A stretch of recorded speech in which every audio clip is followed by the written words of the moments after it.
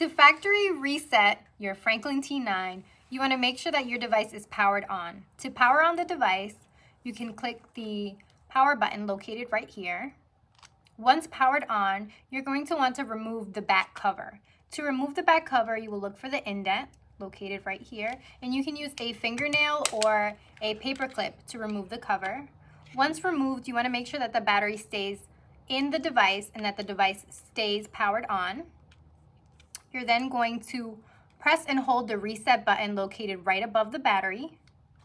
You're gonna hold it for about four seconds until you see it say factory reset restarting now. You can then put the back cover back on. And once you see that it says, welcome, success, you have factory reset your Franklin T9.